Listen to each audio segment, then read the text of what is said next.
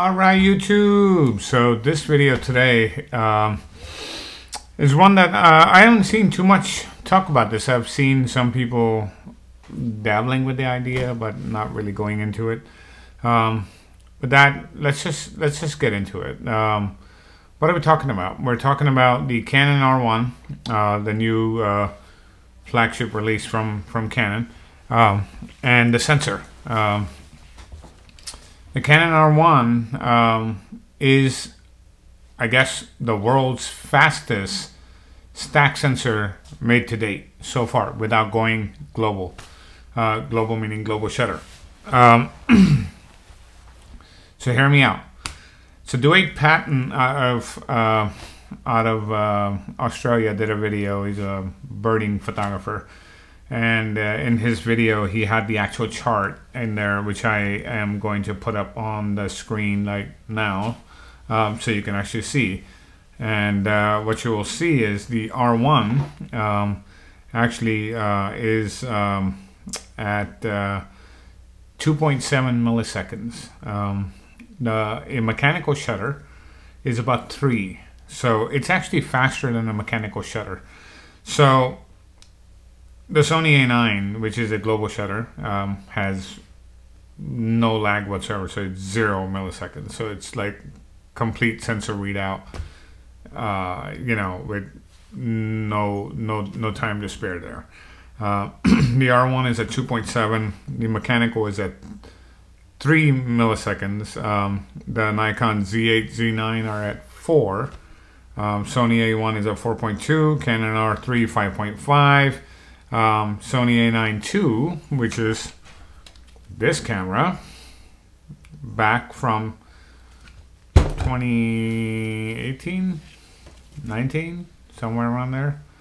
Um, 6.2. The new Canon EOS R5 Mark II is actually at 6.3. So it's a huge difference uh, from the previous R5, which was at 16.3. So um, that's that's a significant drop. It's almost like a 66% speed bump uh, on just the Canon R5 going from uh, almost 16.3 to, to down to like 6.3. So huge, huge uh, improvement. But nonetheless, uh, some of these other stack sensors um, like uh, the Sony A9 II, the Canon R3, they were already pretty fast, and the, and obviously the Nikon, you know, Z8, Z9. But with the R1, it really broke the barriers, right, and the limits of stack sensor on how fast can they really get. Uh, who knows? Sony might make one that might be down to one millisecond. Um, would love to see it. That's going to be like sick.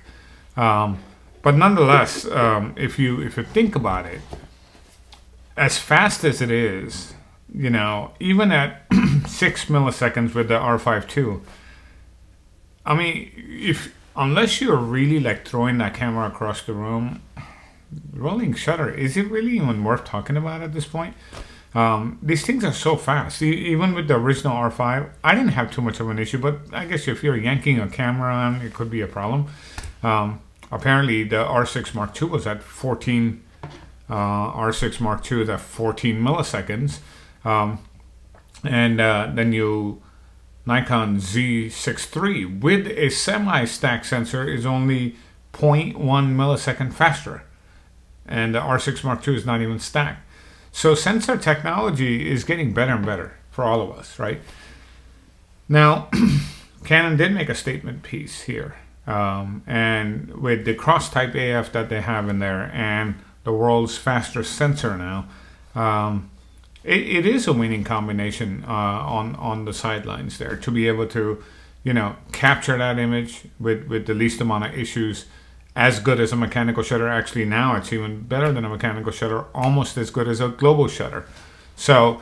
Um, the next frontier, I think Sony has led the pack when it comes to global shutters, and I, I would like to see that being, you know, played out a little bit more, not just on Sony but other other cameras too. But what Canon did here, without going to a global shutter and having the penalties of a global shutter of you know dynamic range, all the other things, right? Um, in addition to also having a mechanical shutter in there, they still put a me- mechanical shutter, even though the sensor can read faster than the mechanical shutter. That that speaks volumes, and and you know I would encourage all of you when you're looking at the flagships. If you're looking at Nikon Z9, looking at Sony A1, you're looking at whatever, uh, you know, like the R1, for example, from Canon, the EOS R1. Um, most professionals at that level they don't look at just one camera, they look at the entire system. So, what is the system? Obviously, the lenses matter, lighting matters, flash units, right?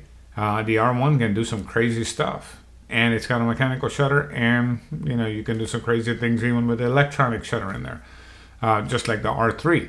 So, with that, leave your thoughts below. Um, but as it sits right now, uh, based on what I saw in Duade's email, um, email his video, um, it clearly shows that this Canon EOS R1 sensor is the world's fastest stack sensor to date so far. And Sony, you're up next, so let's see what you can do because you make sensors for pretty much everyone else.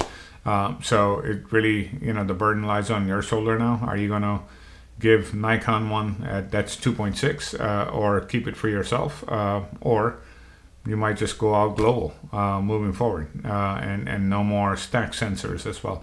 So with that, you guys leave your comment below. That's sort of my take on it. Not a very long video, but to the point. Um, and, and, and, a great job done by Canon engineers here. Um, I am still waiting to see the dynamic range performance, uh, you know, and, and things like that from photons to photos when it comes out. And once it comes out, we'll actually bring it to you. So like, subscribe, be nice to each other, go out there, create your magic. And I will talk to you in the next one. Thank you.